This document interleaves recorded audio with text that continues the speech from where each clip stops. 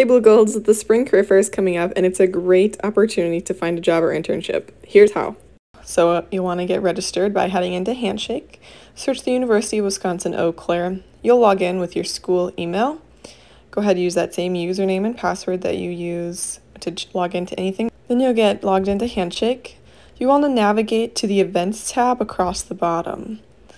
The Events tab will bring you to this page. You'll then want to click Career Fair across the top, and that way it'll be really easy to click the Spring 2021 All Majors Career Fair.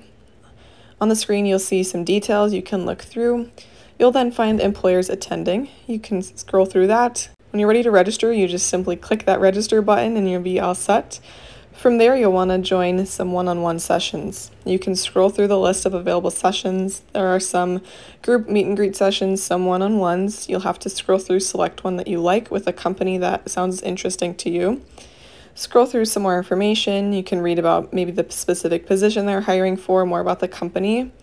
You also can look through information about the specific organization that you'll be applying with for example, some jobs that they have. You could look at reviews or interview information all there.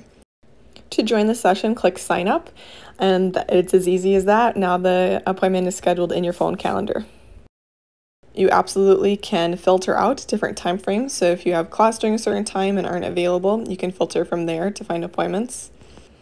Navigating next to the Your Sessions section will show you all the current sessions you're registered for. Keep track of this, it'll help you stay organized the day of.